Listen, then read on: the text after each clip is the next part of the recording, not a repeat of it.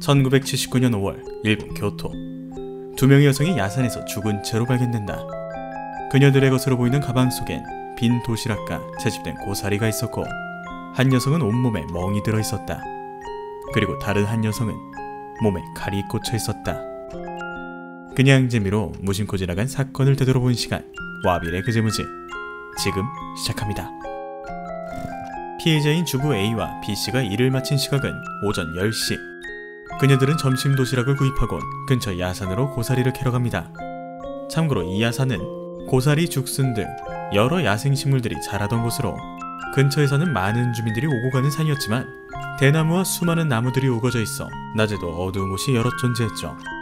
때문에 강간 같은 범죄 사건들도 종종 발생하던 곳이었습니다. 하지만 A씨는 과거 7번이나 이곳에서 무사히 고사리를 캐온 경험이 있었기에 앞서 말한 위험 상황이 덜 와닿았던 것으로 보입니다. 그렇게 이날 함께 고사리를 캐러 갔던 B씨와 함께 산을 내려오지 못했죠.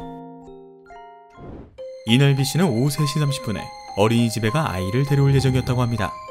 하지만 시간이 되어도 B씨는 어린이집에 나타나지 않았고 집에도 들어오지 않았죠. 이에 B씨의 남편이 부인을 찾으러 야산을 수색했지만 찾지 못했고 이어 A씨의 남편과 함께 수색했음에도 찾지 못하자 결국 경찰까지 나서게 됩니다. 그리고 발견하죠.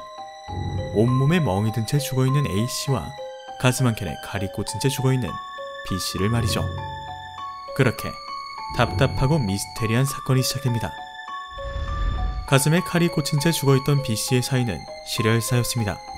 그녀의 몸 이곳저곳에서 폭행의 흔적이 발견되었고 범인이 성폭행 시도를 했던 것인지 시신 근처엔 청바지와 신발이 널브러져 있었으며 속옷은 찢어져 있었죠.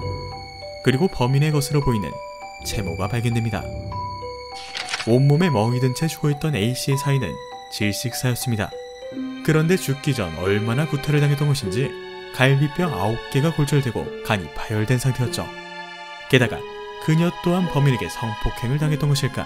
그녀의 몸에선 범인의 것으로 보이는 체액이 발견되었고 경찰은 발견된 체액과 채물을 이용해 범인이 O형인 것을 밝혀내죠.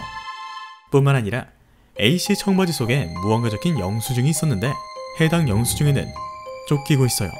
구해주세요. 이 남자 나쁜 사람. 이라고 연필로 적혀 있었죠.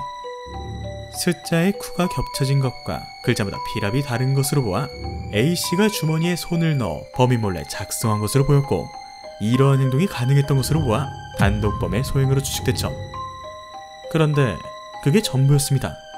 영수증을 썼던 연필을 찾으려 했으나 연필은 발견되지 않았고 B씨 몸에 꽂혀있던 칼에선 그 어떤 지문도 발견되지 않았으며 그녀들의 것으로 보이는 가방엔 빈 도시락과 고사리 그리고 돈이 들어있는 지갑이 그대로 있었죠.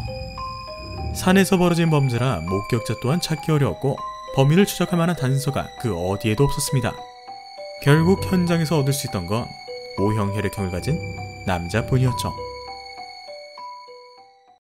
단서가 너무 없자 경찰들은 그날의 입산자뿐만 아니라 마을을 출입했던 외지인들을 모조리 조사하기 시작했고 꽤 많은 용의자들이 지목됩니다. 용의자들 중에는 도망치듯 산을 뛰어내려왔다는 한 소년과 20대 중후반으로 보이는 남성 2명, 얼마 전부터 나타나 산을 가르는 주부들에게 말을 걸었다던 이상한 중년 남성 등이 있었죠.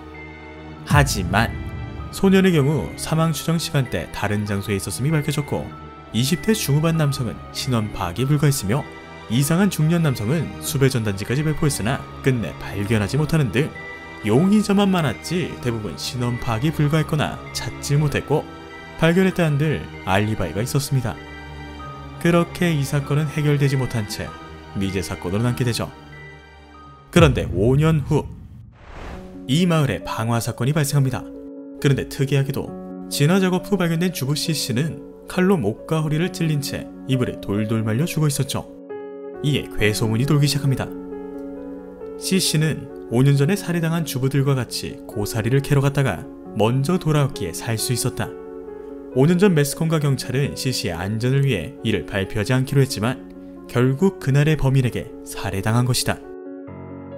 뭔가 그럴싸했지만 고사리 살인 사건과 이날의 방화 사건의 연관성에 관해 경찰이 언급하지 않았기에 이는 결국 괴소문으로 치부되었고 이 사건 또한 단서부족으로 미제 사건이 되죠. 그런데 흥미롭게도 이 사건의 얼마 없는 단서 중 하나였던 범인의 것으로 보이는 혈흔을 조사한 결과 혈액형은 O형이었습니다. 그냥 재미로 무심코 지나간 사건을 되돌아본 시간 와빌의 그제무지 지금까지 나가옥학교 고사리 채집 살인사건이었습니다.